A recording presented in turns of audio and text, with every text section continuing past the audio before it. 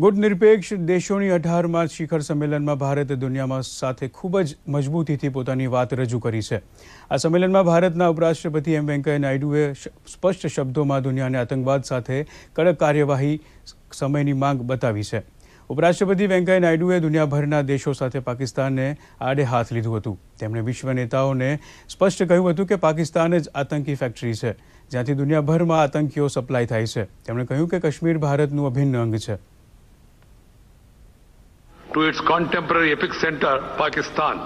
We, re- we regret that earlier today afternoon, this August forum was misused to justify once again its long-standing policy of conducting cross-border terrorism against its neighbors, including the state of Jammu Kashmir,